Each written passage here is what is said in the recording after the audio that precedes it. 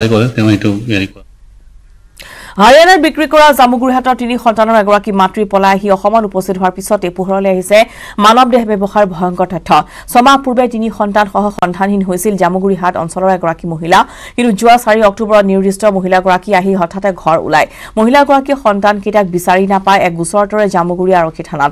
ইয়াৰ পিছতে আৰক্ষীৰ তদন্তত পোহৰলৈ আহিল জামুগুৰিৰ জয়সিন্ধিৰ বিটু বৰা নামৰ যুৱকজনে। মহিলাগৰাকীৰ তিনি সন্তানৰ দায়িত্ব লোৱাৰ প্ৰতিশ্ৰুতি দি মহিলাগৰাকীক দিল্লীলৈ নি এটা অসৎ চক্ৰৰ হাতত প্ৰায় ডেৰ লাখ টকাত বিক্ৰী কৰাৰ কথা। ইয়াৰ পিছতে দিল্লীৰ চক্ৰটোৱে টকাৰ বিনিময়ত হাৰিয়ানাৰ এজন লোকৰ লগত মহিলাগৰাকীক বিয়া দিয়ে বৃহৎ ধনৰ লেনদেনত।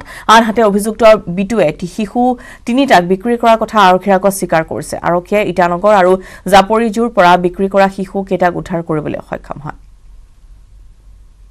ৰেকেটত ইতিমধ্যে তিনিজন এৰেষ্ট হৈছে। বিট্টু বৰা ইছমাইল আলী আলেছ পোচা আৰু খ্ৰীষ্টফাৰ ডাং আলাই সুনীল। এই তিনিজন এৰেষ্ট হ'ল। ইফালে যোৱা তিনি দিনত আৰু দুটা কেছত আমি এনেকুৱা এজনী নাবালিক ছোৱালী আৰু এজনী বালিক ছোৱালী আমি উদ্ধাৰ কৰিবলৈ সক্ষম হৈছোঁ। মিতু বৰা নামৰ লোকজনে তেখেতক দিল্লীলৈ বুলি লৈ গৈছিলে। দিল্লীত তেওঁ আৰু কেইজনমান সৰবৰাহকাৰীৰ লগত দুৰ্ভাগ্যক্ৰমে তেখেতৰ সংযোগ হয় আৰু তেওঁলোকে হাৰিয়ানাৰ এজন মানুহৰ ওচৰত তেখেতক প্ৰায় এক ডেৰ লাখমান টকাত তেখেতক বিক্ৰী কৰি দিয়ে। অথচ সেইটো তেওঁ বিক্ৰী কৰা বুলি গম নাপালে তেওঁ তেখেতৰ লগত বিয়া হোৱা বুলি জানিব পাৰিলে ভিক্টিমগৰাকীয়ে। হাৰিয়ানাৰ পৰা পলাই আহি তেওঁ আকৌ আহি ল'ৰা ছোৱালীকেইটাৰ সন্ধান কৰে। কিন্তু ল'ৰা ছোৱালীকেইটাৰ সন্ধান নাপায় তেখেতে পুলিচৰ ওচৰ চাপে।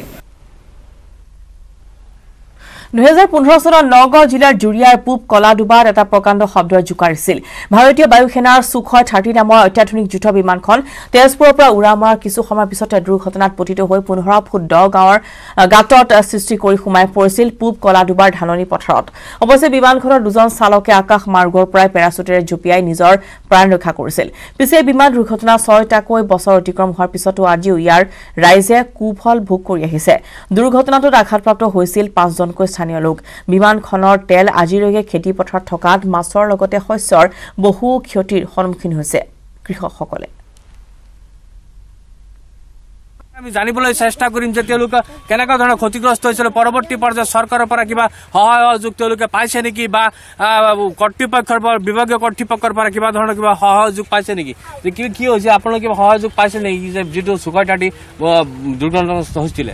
হয় দুহেজাৰ পোন্ধৰ চনৰ মে' মাহৰ ঊনৈছ তাৰিখে আমাৰ তেজপুৰ হালনিবাৰীৰ বায়ুসেনা বিভাগৰ এখন বিমান আমাৰ এই পূবকলাডুবাত বিমান ভূপতিত হয়। যিখন জেগাত পৰিছে সেইখন জেগাত প্ৰচুৰ পৰিমাণে এই খেতিখিনিত প্ৰচুৰ পৰিমাণে ধান উৎপাদন হৈছিলে।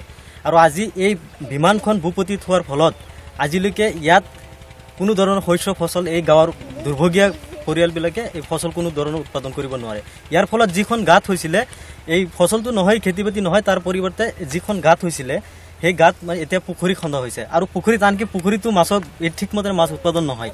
আৰু এই ইয়াৰ মাছ খালে যদি সৰু মাছেই খায় মানে মাছ খালে মানে ইয়াত কিবা কেমিকেল জাতীয় মানে কিবা এটা যাকে এনেকুৱা মিহলি হৈ আছে। আঘাতপ্ৰাপ্ত হৈছিলে কেইজন আঘাতপ্ৰাপ্ত? পাঁচজন মানুহ আঘাতপ্ৰাপ্ত হৈছিলে। আৰু সেই আঘাতপ্ৰাপ্ত আনকি আঘাতপ্ৰাপ্ত মানুহখিনি আজিলৈকে এক টকাৰ বা এক পইচাৰ সাহায্য পোৱা নাই। বায়ুসেনা বিভাগৰ পৰা আনকি চৰকাৰৰ পৰা পোৱা ইয়াৰ লগতে সময় হৈছে মিডিয়া দিনৰ পৰা বিদায় লোৱাৰ।